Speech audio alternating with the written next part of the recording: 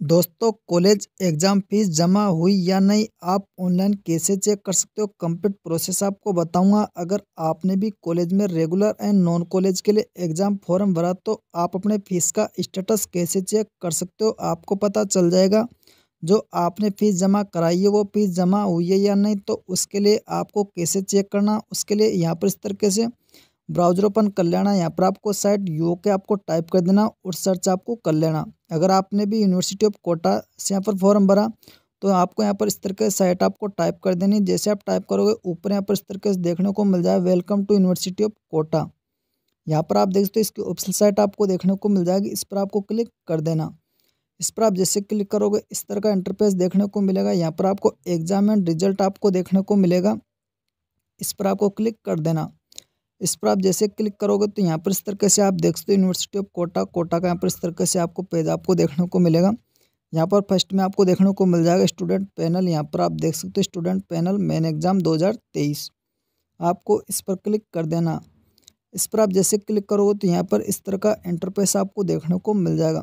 अब यहाँ से आप चेक कर सकते हो कि आपकी फ़ीस जमा हुई या नहीं। जो भी आपने एग्ज़ाम फॉर्म भरा तो चेक करने के लिए यहीं पर आपको ऑप्शन देखने को मिल जाता। आप देख सकते हो चेक चालान पेमेंट स्टेटस यहाँ पर इस तरीके से आपको लिखा हुआ मिलेगा।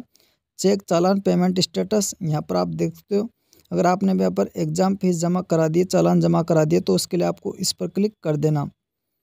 इस पर जैसे क्लिक करोगे, इस तरह का इंटरफेस आपको देखने को मिलेगा। तो यहाँ पर जो आपने यहाँ पर एग्ज़ाम फॉर्म भरा उसके, उसमें आपके ऊपर चालान चालान नंबर व फॉर्म नंबर आपको देखने को मिल जाएँगे।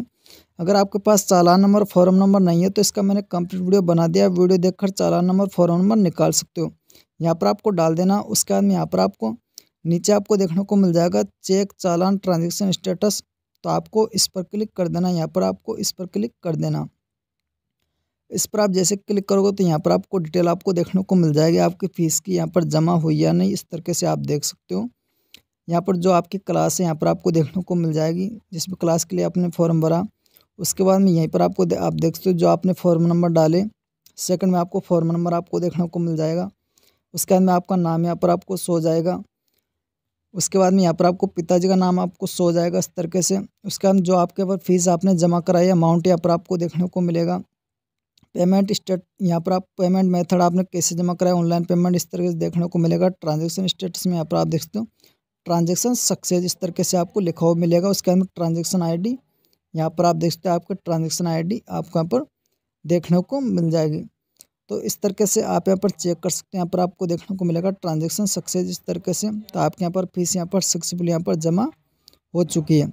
तो आप इसी प्रोसेस से यहाँ पर आसानी से अपने एग्ज़ाम फॉर्म की फ़ीस जमा हुई या नहीं आप इस तरीके से चेक कर सकते हो। आपको आसानी से पता चल जाएगा।